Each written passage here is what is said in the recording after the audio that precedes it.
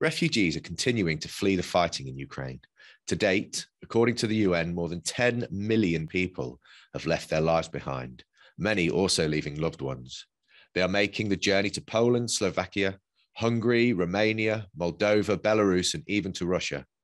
Here in the UK, more than 21,000 visas have been issued to Ukrainians who have immediate or extended family in Britain and around 2,700 visas have been issued to British families welcoming refugees into their homes.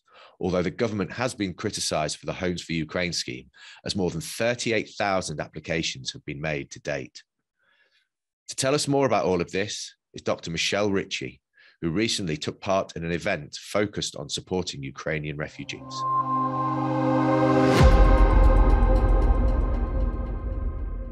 Hello, Michelle. How are you?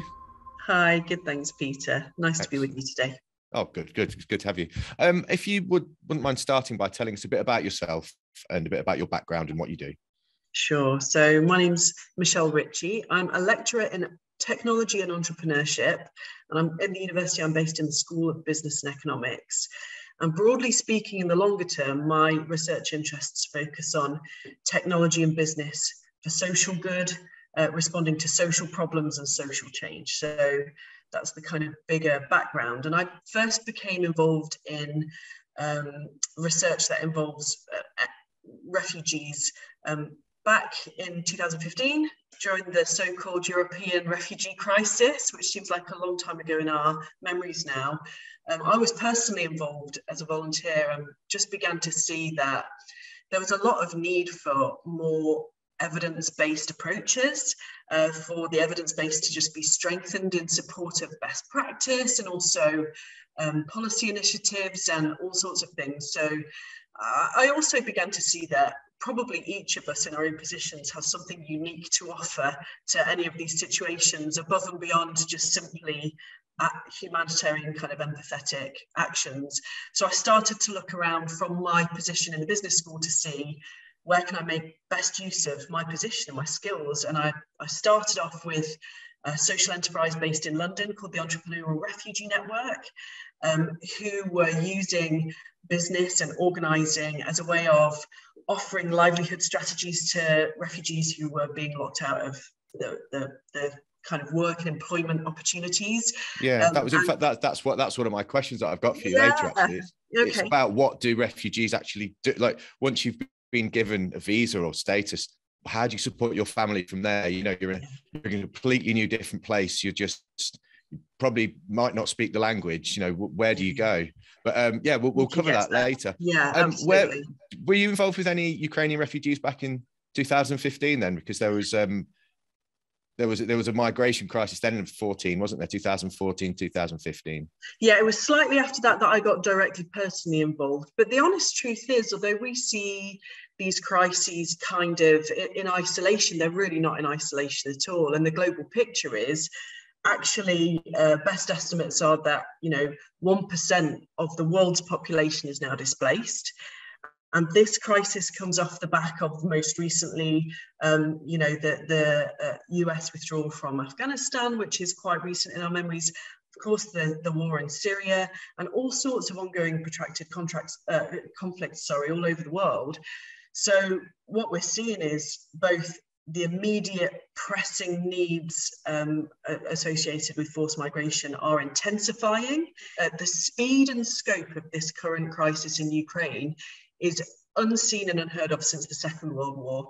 More refugees moving more quickly um, than any time since then.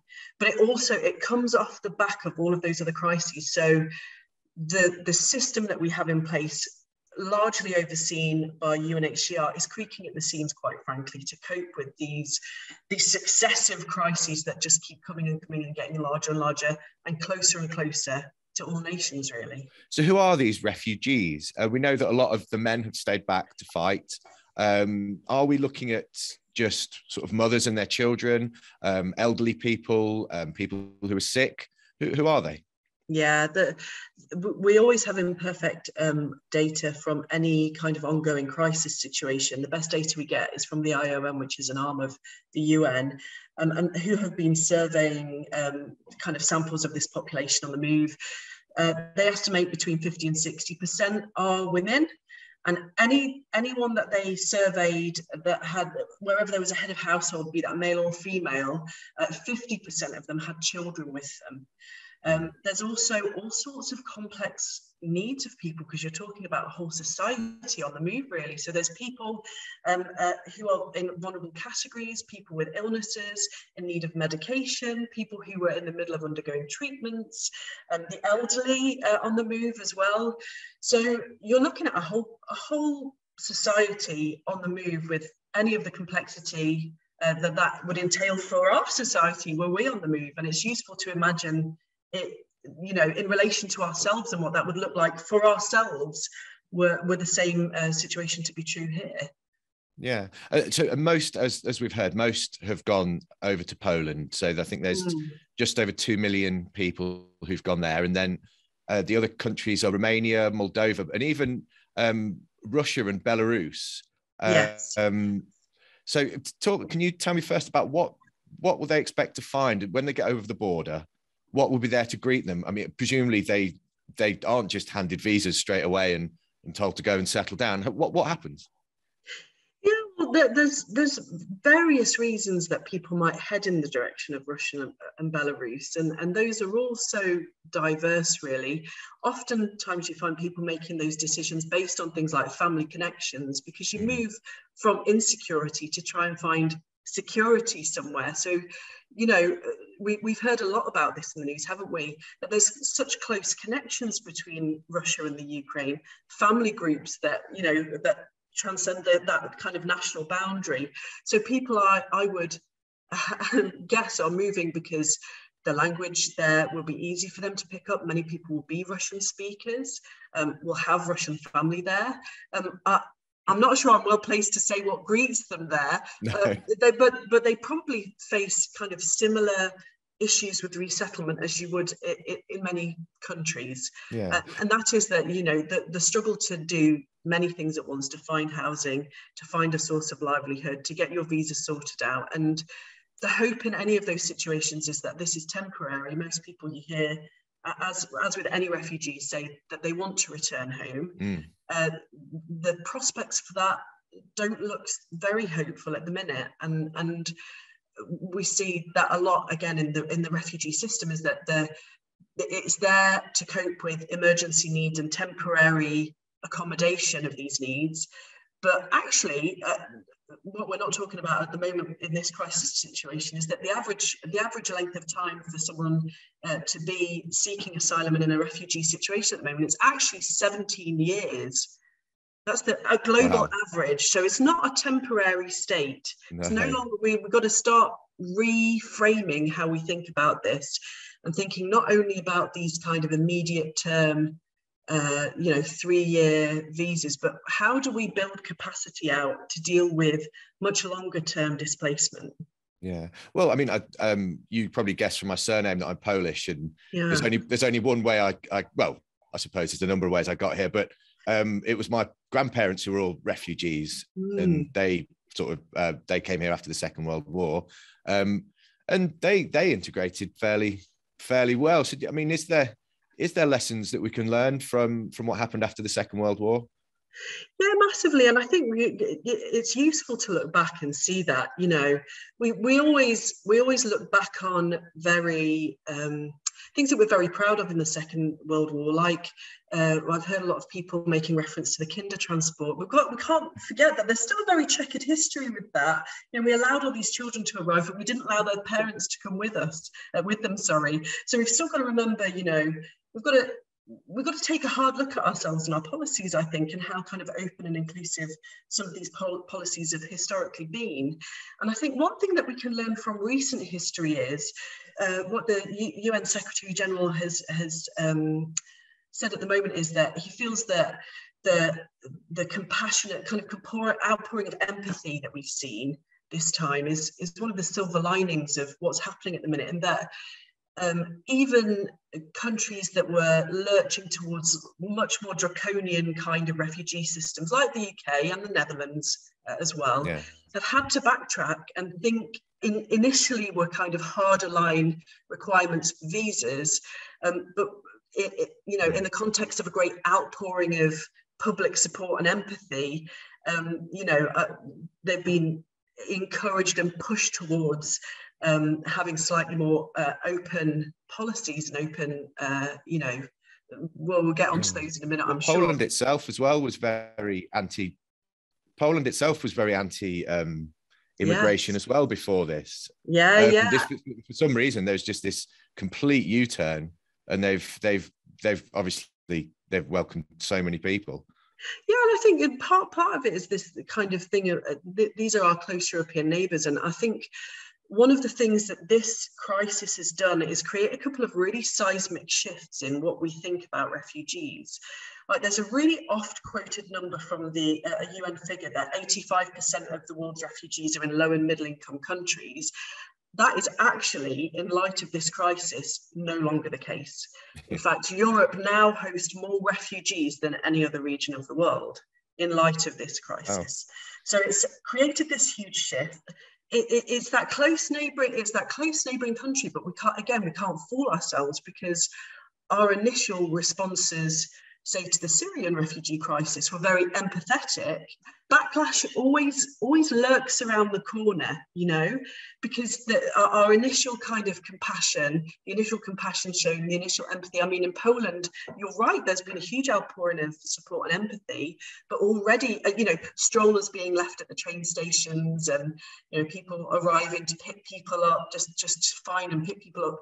There's been a great pride in that kind of response in poland and i've as well got close polish friends and neighbors who've had, felt very proud of the response but who've yeah. also said there's a limit to how much we can do this on a humanitarian basis because how do we pay for all of this? And where do we actually put people? And and so and this is part of the message and um, the work that's being done with the network that I'm part of actually is that it is the right time at the moment to be talking about immediate responses and organizing in a crisis? And how do we harness this kind of public empathy to move things in a, in, in a more in, in a more open and inclusive direction for all refugees and not just not only our most yeah. recent arrivals?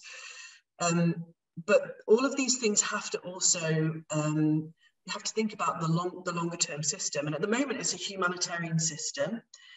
Um, we try and offshore our borders and keep a lot the large majority of this growing number of refugees in camps, even in detention centres, um, and a huge, a tremendous cost that comes at a tremendous cost. Um, and a lot of the discussion now is about how do you make that system, which is only growing and it is only going to come under more pressure. I mean, this this past few years has shown us it's not refugee displacement. It's not an isolated incident, is it?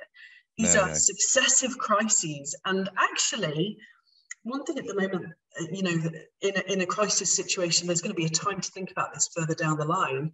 This is all bound up in the uh, climate environment, uh, uh, the, the impending environmental crisis as well, because a lot of people are not only displaced by politics uh, uh, and war and, and, threat of violence. So the, the UN um, definition of a refugee is someone fleeing um, because of a well-founded fear of persecution. That doesn't really adequately cover at the moment people who are displaced by environmental catastrophes, yeah, yeah. who are also seeking asylum, who are also seeking safety. And actually, the World Bank have predicted that by 2050, looking at somewhere around 143 million refugees globally. You know, so there's this is a growing crisis, and one of the things that the network that I work in that looks at how, how can we orient this system to not only cope with a crisis in the short term, but to, as successive waves come in, how can we make this a sustainable system that has the capacity to cope with these growing numbers yeah. and um, can do that at scale sustainably? Yeah. Um, business likes to think it's really well oriented towards those kinds of solutions, and innovation and technology all play a role in that. Mm-hmm. But that that's the push that's coming from our own school, from from this this network of investors and businesses that I work in, yeah. um, and also from places like the Refugee Studies Centre at Oxford, um, who are saying, you know, for this to be sustainable for this to operate at scale, we've got to start thinking about not not so much a humanitarian system that that is that is there for crisis situations like this but in the longer term we've got to couple that with an opportunity oriented system that gives for example asylum seekers the opportunity to work which is good for them which takes that cost burden off their receiving countries a little bit. Yeah. Also you know we we can we can see from a personal point of view. How does that work then? How does so what barriers are there between a, a, an asylum seeker or refugee coming to this country or any mm. country and getting a job? And and how will what you're sort of how what you're looking at help that? How will it break that yeah. break those barriers down? That's a great question. So at the moment um, there are tremendous barriers all over the place um, to refugees and asylum seekers. So just to make the distinction an asylum seeker is someone who who arrives spontaneously in a country seeking safety and when they're granted that right to remain, they become a refugee. So you you are granted refugee status. So it's important yeah. to make that distinction because you have different rights in both of those circumstances. So, for example, currently in the UK, um, asylum seekers are not granted the right to work.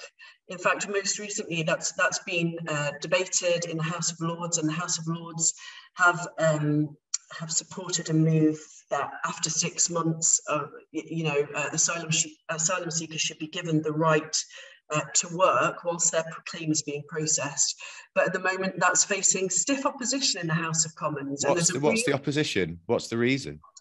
So, in the House of Commons, there's a number of uh, dynamics going on. But one of the things that I observe is that quite often uh, they, they conflate uh, different kinds of migration and, and, different issues with asylum. So, for, example, uh, the the stickiness we're seeing in this in this system at the moment is because they are worried about the security risks posed by people coming into the country and that's a really common that's a really common objection raised in the house of commons yeah uh, particularly for all sorts of things though, for...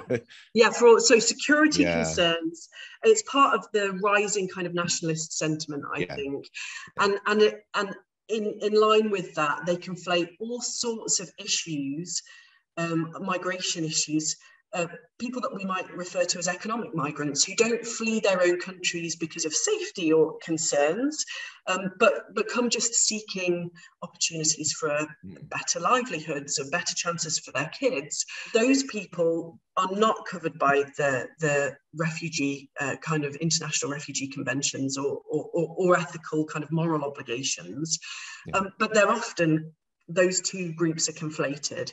And so there's a lot of debate um, and, and really i think what it comes down to is that it's seen as an electable issue that if you can control yeah. migration um, you know migra- migration is is is uh, seen as being to blame for other issues that are going on in our economy, places that haven't had, you know, um, job security for a long time, uh, you know, areas up north where there's kind of deindustrialization, yeah. and and they conflate all of these issues. I mean, we saw back in 2015 uh, the Brexit campaign really conflating these issues, didn't we? Mm. You know, this these photographs that we saw of this inward flux of people who were supposed yeah. to be stealing jobs and threatening British kind of prospects. All of these things are conflated.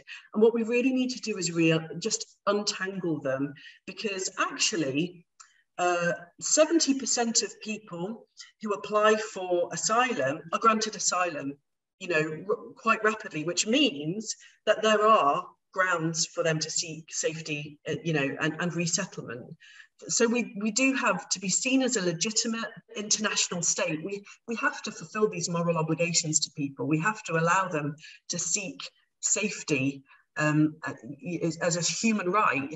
So untangling some of those issues for, for our politicians in the House of Commons is, is really, really important. They can't mm. continue to kind of scapegoat refugees who seem to be at the sharp end um, of, of, a lot of uh, you know, their the, the, blame game. yeah. Do you think this will change that slightly now? Because it's a lot harder to um, to sort of roll out some of these tropes when we when these people are, are a lot of um, British people see these as our European neighbours.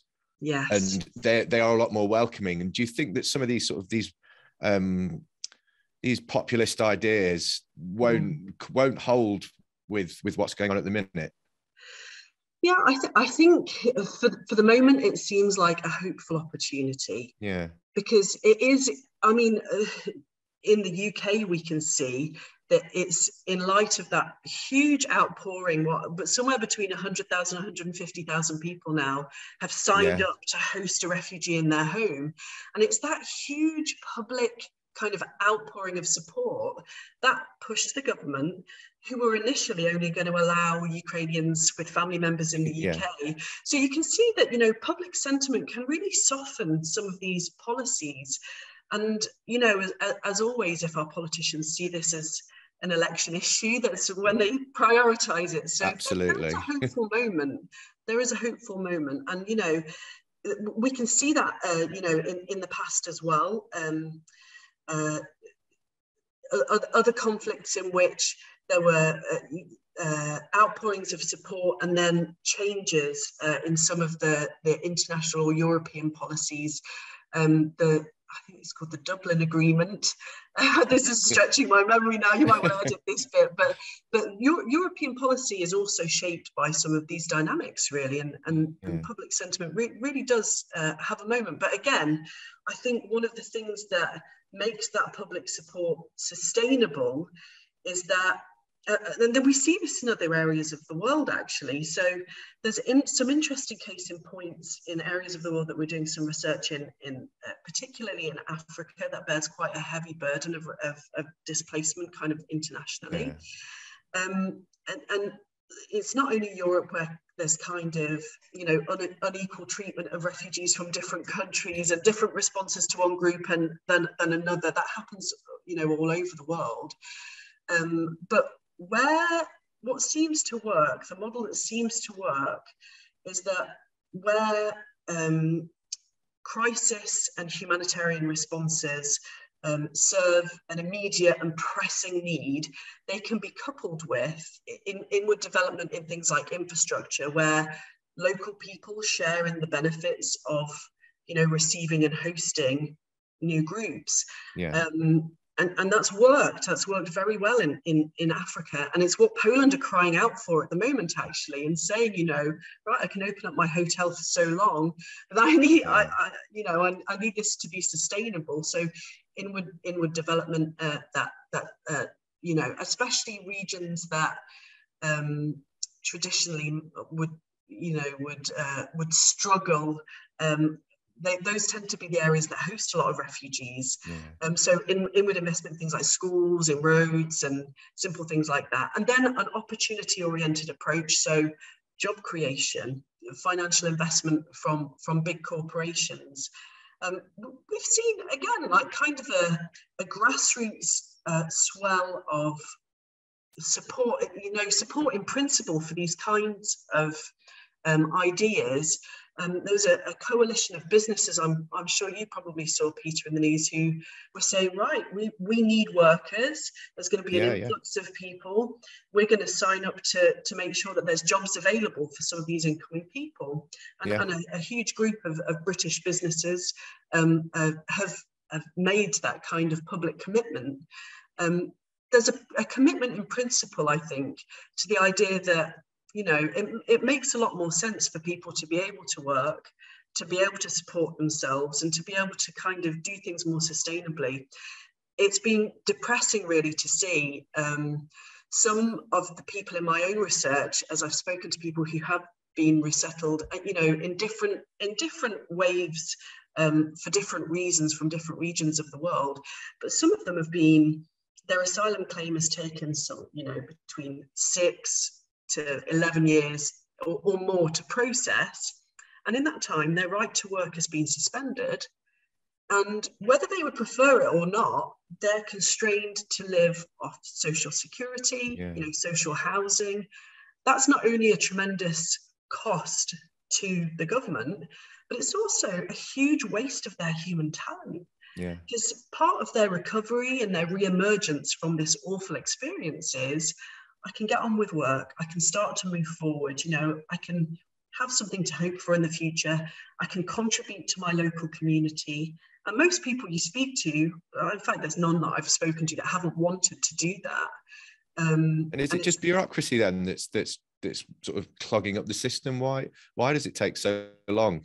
Some of the cases are complex. Yeah. Um, I think we're seeing this in the in the current situation actually. So there's a, a lot of uh, burden of proof placed on the person seeking asylum yeah. uh, to you know to prove the reasons that they fled, uh, to prove their status in their home country. You know, when you flee, you often don't have time to bring a lot of bank statements with you or paperwork. No, and again, that's a criticism that's currently being levelled at the government's. Um, kind of approach to to the uh, how, housing for refugees initiative is yeah. that the, the the paperwork that's required the Ukrainians simply don't have. You know, many of them are on computers in bomb shelters uh, with intermittent access to the internet yeah. and filling in long forms on a very glitchy website.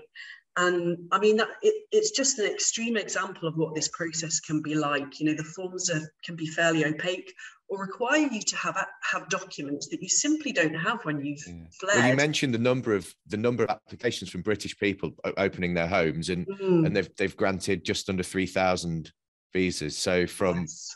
from one hundred and fifty thousand people showing interest, 3,000, yeah. 2,700 have actually been yes. granted, which is just it's received a lot of criticism for that. It's been very frustrating for people, hasn't yeah. it? Very frustrating because you you feel you, open your home feeling the urgency of the situation for people and you know how urgent it is um, and I can only imagine that people have gone through their lives to just assess, can I do this, and to respond quickly, and to be faced with all these bureaucratic delays is yeah. is a headache to say the least. Yeah, absolutely. Okay. I think uh, that giving direction um, and uh, working with this kind of groundswell uh, of empathy it's, it's, a really important moment for the government uh, to, to get this right. But what people have shown is where time and time again where the government or, or local uh, administration can't move quick enough they'll simply try and organize around it. And there's some great great examples of that from you know uh, conflicts and um, and influxes of, of migrants in the recent past. Um, and you know these these exact there's hubs of activity where you see these things taking place and oftentimes in mainland europe uh, train stations are the place where these things happen because these are the arrival points for people yeah. you know people coming by car or uh, towards a checkpoint or coming on train to a train station and we've seen we've seen the strollers be there as quite a quite a moving um, display of, of solidarity, recognizing that there's a lot of women and children on the move. Um, in there's there's a great well documented example of uh, grassroots organizing at a train station in Vienna uh, during the 2015-16 um, uh, influx of people as well, where uh, self-organized at, at, the at the local train station in Vienna, people are, had got a really smooth operation and it was manned purely by volunteers. And in the end the local the local kind of government had to just kind of give way and defer to this group of volunteers on what was going on on the ground. Where could people get the things they needed? Where could they go for housing? Because it just wasn't moving quick enough. Yeah uh, otherwise that sounds lovely. yeah Okay. Well, that's brilliant. I think I think we'll leave it there, Michelle. That's that's been really really nice to hear you talk. Thank you very much. Thanks so much, Peter. Thank you very much. You. you. too. Bye bye.